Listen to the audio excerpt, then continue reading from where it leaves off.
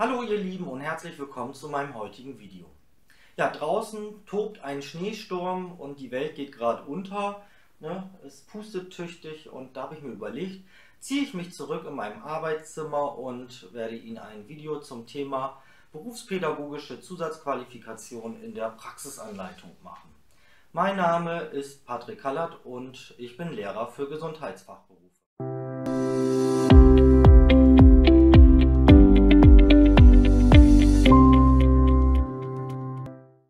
Herzlich willkommen zurück. Ja, schön, dass Sie wieder dabei sind und eingeschaltet haben.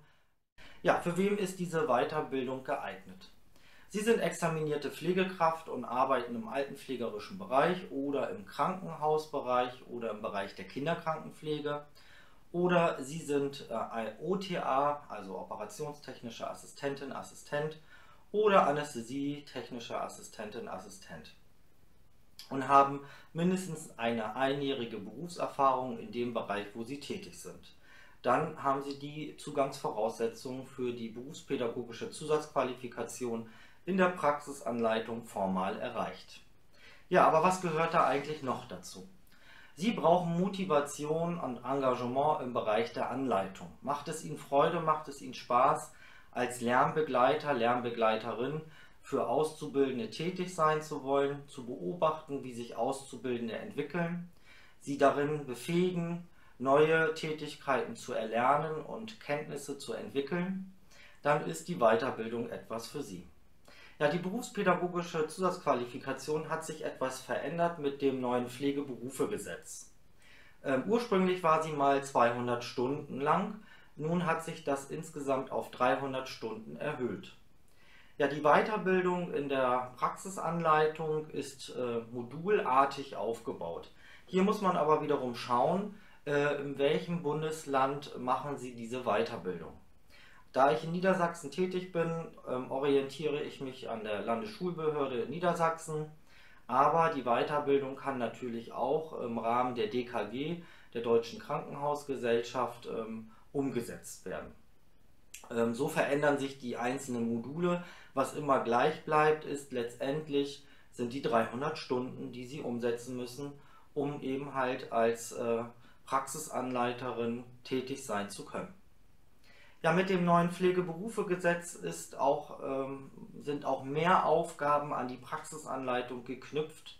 Das heißt also, der Verantwortungsbereich Ausbildung im Praxisbetrieb ähm, hat nochmal eine deutliche Aufmerksamkeit bekommen und auch eine ähm, deutliche Verantwortung mehr bekommen.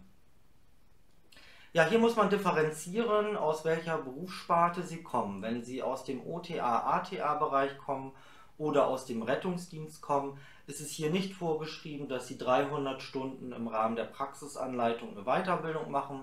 Hier können Sie theoretisch nach 200 Stunden ähm, die Weiterbildung beenden für Pflegekräfte, Pflegefachmänner, Fachfrauen, aber auch noch der altenpflegerische Bereich, Kinderpflege ähm, und eben halt auch aus der Krankenpflege oder Gesundheits- und Krankenpflege, Gesundheits- und Kinderkrankenpflege, ähm, gilt hier tatsächlich die 300 Stunden, die umgesetzt werden müssen. Ja, in Niedersachsen sind es insgesamt acht Module, die ineinander abgeschlossen sind und eben halt ähm, äh, ja, nacheinander aufgebaut sind und ich stelle Ihnen ähm, die einzelnen Module kurz vor, um vielleicht das Interesse bei Ihnen zu wecken, yes! diese Weiterbildung ähm, umsetzen zu wollen. Ja, ich persönlich habe die Weiterbildung ursprünglich gemacht. Da gab es noch die Mentorenausbildung. Ähm, ja, die Mentorenausbildung hat dann nicht mehr gereicht. Und dann musste ich dann nochmal auf die 200 Stunden etwas draufsatteln, um die Praxisanleiter-Weiterbildung umzusetzen. Ja, jetzt sind es 300 Stunden. Keine Sorge, liebe Praxisanleiter, Praxisanleiterinnen, Sie haben eine Besitzstandswahrung und müssen jetzt nicht ähm, aufstocken um 100 Stunden, um Ihre Tätigkeit auch weiter umsetzen zu können. Das heißt also, Sie haben hier eine Besitzstandswahrung. Kommen wir aber nun zu den Modulen, die inhaltlich abgeschlossen sind und nacheinander aufgebaut sind. Welche Inhalte äh, gibt es hier und was wird hier vermittelt und unterrichtet. Kommen wir nun zu Modul 1. Ja, im Modul 1 dreht sich alles um das berufliche Selbstverständnis. Sie sollen ein Selbstverständnis entwickeln können, welche Tätigkeiten es so in der Praxisanleitung gibt. Aber Sie müssen sich in Ihrer neuen Berufsrolle auch zurechtfinden und auch ähm, für sich erkennen, welche Aufgaben gibt es eigentlich in der Praxisanleitung und wie kann ich die Praxisanleitung im Team, im Unternehmen auch letztendlich ähm, ja, darstellen und wie kann ich sie auch nach außen hin transportieren, um die Wertigkeit von Praxisanleitung und Ausbildung im Betrieb zu vermitteln. Das berufliche Selbstverständnis. Kommen wir nun zu Modul 2.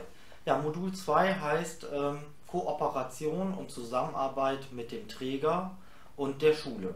Also hier wird alles ähm, darüber erklärt und erläutert, welche Aufgaben ähm, sind den Praxisanleitern und den Trägern zuzuordnen und welche Aufgaben und Inhalte haben denn Schule inne und eben halt wie soll die Kooperation und die Zusammenarbeit zwischen Träger und Schule aussehen.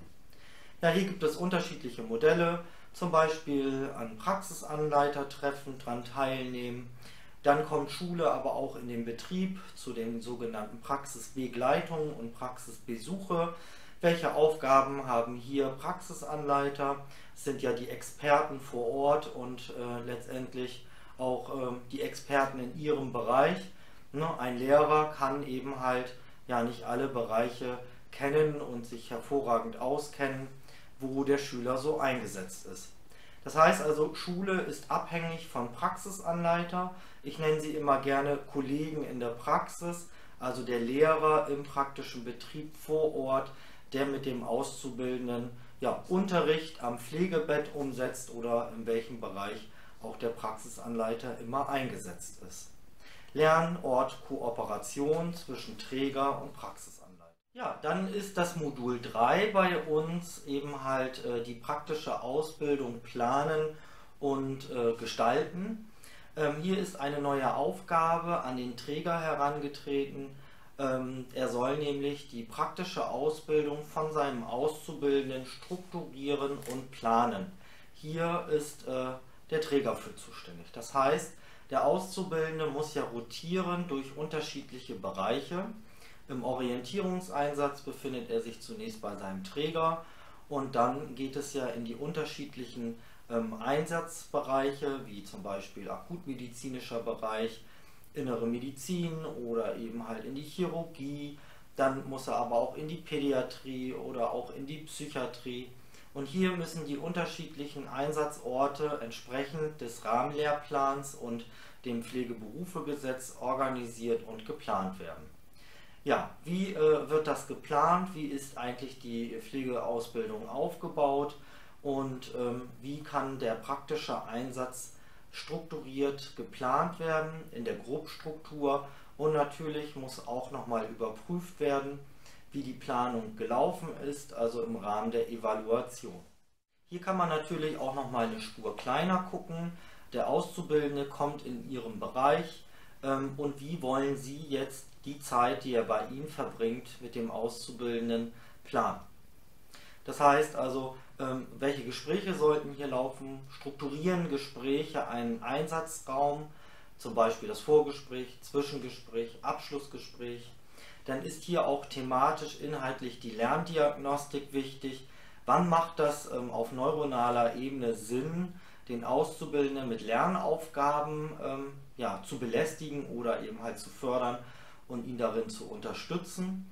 Genau, und hier ähm, werden unterschiedliche Methoden und Möglichkeiten in dem Modul vorgestellt, wie Sie einen Praxiseinsatz planen können, wie Sie durch Gespräche strukturieren können und ähm, wie Sie mit Lerndiagnostik ne, auch Ihren Auszubildenden kennenlernen und gucken, worin ist äh, sein Unterstützungsbedarf gegeben, wie kann man ihn darin unterstützen und befähigen, neue ähm, Kompetenzen auch letztendlich zu entwickeln. Ja, kommen wir zum Modul 4. Modul 4 sind Anleitungsprozesse und Lernprozesse ähm, zu gestalten.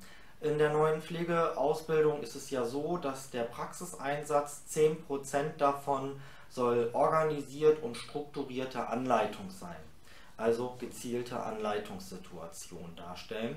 Und diese gezielten Anleitungssituationen müssen ja pädagogisch, didaktisch entwickelt werden. Und hier muss erstmal überprüft werden, welche Lernangebote kann ich ähm, erteilen in meinem Fachbereich, wo ich tätig bin. Und diese Lernangebote müssen natürlich dann auch pädagogisch, didaktisch in eine Struktur kommen. Wie möchte ich gerne vorgehen in den jeweiligen Anleitungsverfahren? Wie möchte ich das umsetzen und eben halt auch planen und entwickeln? Das äh, sind die Inhalte aus dem Modul 4. Ja, kommen wir nun zum Modul 5. Modul 5 umfasst alles, was äh, in der Praxisanleitung an Kommunikation stattfindet. Welche Gespräche sind im Rahmen der Praxisanleitung möglich? Ja, Sie können ähm, Entwicklungsgespräche führen, Lernstandsgespräche führen, aber es können auch mal Konfliktgespräche sein oder Krisengespräche sein. Auch die jeweiligen einzelnen ähm, Gesprächsbausteine, Vorgespräch, Zwischengespräch, aber auch das Beurteilungsgespräch, ne, die komplette Interaktion zwischen Menschen und Kommunikation sind hier thematisch inhaltlich gegeben. In Modul 6 drehte sich alles um die Beurteilung. Ne? Lernstandsorientierung äh, und Lernstand äh, wird hier überprüft. Also Prüfungen äh, sind hier thematisch inhaltlich gegeben. Wie finden Bewertungen statt, Benotungen statt? Gibt es Gewichtungen, Taxonomien zum Beispiel, Anforderungsbereiche? Ähm, wie wird bewertet, benotet? Wie läuft die praktische Prüfung ab? Ähm, wie kann man einen Praxiseinsatz bewerten? Ja, welche Kriterien gibt es für eine Bewertung? Genau, und ähm, das ist der große Part, denn Sie als Praxisanleiterin, das war ursprünglich in der Altenpflege anders, sind auch Prüfungsmitglied. Also das heißt, Sie ähm, nehmen mit dem Lehrer von der Schule ähm, die praktische Prüfung ab und geben unabhängig voneinander ihre eigenständige Note für das praktische Examen. Im altenpflegerischen Bereich war eben der Praxisanleiter nur beratend tätig und durfte eine Empfehlung aussprechen. In der Gesundheits- und Krankenpflege war das schon ähm, recht lange oder immer so, dass auch Praxisanleitung eben halt ein vollwertiges Prüfungsmitglied ist und unabhängig von Schule ähm, seine eigene Note entwickelt. Ja, mit dem Modul 6 ähm, ist in Niedersachsen sind dann auch die 200 Stunden abgeschlossen und hier ist eben halt jede Weiterbildungsstätte auch sehr unterschiedlich. Na, also die OTAs und ATAs können dann hier äh, mit einem ähm, entsprechenden Abschluss, Abschlussprüfungen, also hier auch unterschiedliche Weiterbildungsstätten, die da eben halt unterschiedlich verfahren. Äh, manche machen ein ein, eine praktische Prüfung im Betrieb, wo eben halt eine Praxisanleitung umgesetzt wird und hier äh, wird der, der Weiterbildungsteilnehmer dann durch, ein, durch eine Lehrkraft äh, eben halt überprüft. Es kann auch mündliche Prüfungen eben stattfinden oder eben halt schriftliche Prüfungen stattfinden. Ein Lernportfolio ist auch möglich, dass eben halt ähm, alles äh, niedergeschrieben wird, welcher Lernzuwachs hat stattgefunden anhand der jeweiligen einzelnen Module und das dann in Form einer schriftlichen Hausarbeit dann entsprechend abgegeben werden. Das heißt also, hier muss man schauen, ähm, an welchem ähm, Bildungsträger, an welcher Weiterbildungsstätte mache ich die Weiterbildung und wie sind dort die Prüfungsvoraussetzungen. Hinzu kommt aber auch, dass ähm, letztendlich die Module in sich abgeschlossen sein sollen. Darauf bin ich hier noch gar nicht eingegangen. Das heißt also, die jeweiligen einzelnen Module haben auch unterschiedliche Stunden, die darin verteilt sind. In Niedersachsen ist es so, dass ab Modul 6 die 200 Stunden voll sind und äh, sich vielleicht sogar einige Teilnehmer aus dem OTA, ATA-Bereich oder aus dem Rettungsdienstbereich ähm, sich dann verabschieden und der Kurs nur mit äh, Pflegekräften dann weitergeht, denn die brauchen ja die 300 Stunden. Äh, manche Teilnehmer sind aber so interessiert und motiviert, dass sie den kompletten Kurs machen, also die insgesamt 300 Stunden auch letztendlich umsetzen. Im Modul 7 geht es um Spannungsfelder. Also der Praxisbetrieb und eben halt auch vielleicht in Kooperation mit Schule da kann es schon mal zu Spannungen kommen, zu Reibereien kommen. Auch vielleicht ähm, die Wertigkeit von Praxisanleitungen ist vielleicht nicht von allen so gesehen. Ne, es gibt neue Anforderungen an den ähm, Praxisanleiter und aber auch an die praktische Ausbildung. Ne, hier sind besondere Anforderungen auch an Träger geknüpft, dass er das gewährleisten muss, dass praktische Ausbildung stattfindet. Ne, die äh, 10% müssen abgebildet werden, sodass der Auszubildende auch aufzeigen kann, dass er eine praktische Ausbildung erlebt hat. Ähm, Im alltäglichen Umgang und in dem beruflichen Stress ähm, geht auch gerne oftmals Praxisanleitung unter. Oder äh, im Team wird dann zum Beispiel eine Aussage getroffen wie, ihr seid doch zu zweit, dann müsst ihr ja doppelt so viel arbeiten oder ihr seid doch zu zweit, dann äh, macht doch mal die Neuaufnahme, der Schüler muss ja noch lernen. Ja, aber es gibt eben halt pädagogisch-didaktische Modelle, wie gelernt werden sollte. Und hier wird differenziert auch nochmal geguckt, ne, was sind situative Anleitungen, also im Mitlaufverfahren, schau dir mal an, um was ist geplant und strukturiert, also gezielte Anleitung. Ja, und ähm, wie ist es im Team, wie kann ich mich als Praxisanleiter behaupten? Und hier äh, wird mal geguckt und analysiert im Modul 6, welche Spannungsfelder gibt es im Rahmen von Praxisanleitung.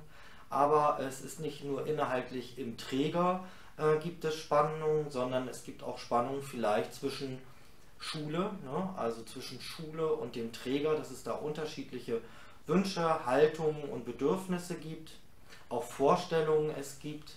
Und hier wird zunächst einmal die Spannungsfelder werden in Sozialisation im beruflichen Umfeld äh, überprüft. Ja, im Modul 8 ist es dann so, dass nicht nur eine Überprüfung stattfindet, sondern dass man sich mal Gedanken macht, welche Lösungsansätze äh, gibt es äh, für diese Spannungsfelder und wie möchte man da eigentlich mit umgehen und wie möchte sich hier in dem Bereich äh, Spannungsfelder auch Praxisanleitung positionieren, ähm, welche Haltung möchte Praxisanleitung hier einnehmen, um eben halt Ausbildung, Tätigkeit im Betrieb auch entsprechend ähm, ja, darzustellen und auch einzufordern. Ich hoffe, Ihnen hat mein Wissen kompakt ähm, für die berufspädagogische Zusatzqualifikation in der Praxisanleitung gefallen. Ähm, selbstverständlich habe ich Ihnen nicht alle Inhalte minutiös aufgelistet und vermittelt. Ähm, dementsprechend würde dann das Video unendlich lang werden. Ne? Sie denken ja daran, 300 Stunden ist der Inhalt der Weiterbildung. Also ich habe jetzt äh, eine, ähm, ein, Ihnen einen groben Überblick eben beschrieben für diese berufspädagogische Zusatzqualifikation. Ja, mein nächster Step ist dann tatsächlich äh, mit Unterricht fortzufahren und ich finde jetzt gerade im Anbetracht der Zeit, auch mit dem Lockdown und der Corona-Situation, ähm, stelle ich für mich fest, dass die Grundanspannung von, von meinen Kollegen, von mir selber, aber auch durch ähm, das lang andauernde Corona-Szenario, ähm, dass die Grundanspannung steigt. Und ich empfinde auch, dass so die Frustrationstoleranz von meinen Mitmenschen, aber auch von mir selber deutlich sinkt. Und ich möchte gerne in meinem nächsten Video einmal eine Reihe, eine, eine Serie Ihnen vermitteln ähm, zum Thema Stress. Denn vieles hat mit dem Thema Stress auch zu tun. Ne? Wie steigt die innere Grundanspannung? Was hat, äh, welche Auslöser gibt es? Was passiert eigentlich im Körper bei dem Thema? Und ja, ich möchte Ihnen unterschiedliche ähm, Stresstheorien vorstellen. Ähm, das ist auch ein Unterrichtsinhalt von mir, ein Unterrichtsthema von mir äh, in den jeweiligen einzelnen Ausbildungslehrgängen. Ja, also seien Sie gespannt auf das nächste Thema. Das Thema ist Stress, Stresstheorien, gerade jetzt zu Pandemiezeiten. Ich werde das Thema Angst auch mit einfließen lassen und da, dadurch, dass es sehr viel Inhalt ist, werde ich eine Serie daraus gestalten und Ihnen dann eben halt peu à peu aufbauend hintereinander ähm, ja, einzelne Videos dann letztendlich auch drehen.